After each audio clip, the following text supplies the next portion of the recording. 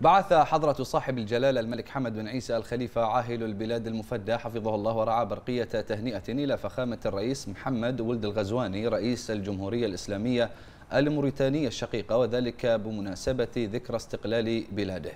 وأعرب جلالته في البرقية عن أطيب تهانيه وتمنيته لفخامته بموفور الصحة والسعادة ولشعب الجمهورية الإسلامية الموريتانية الشقيقة تحقيق المزيد من التقدم والازدهار.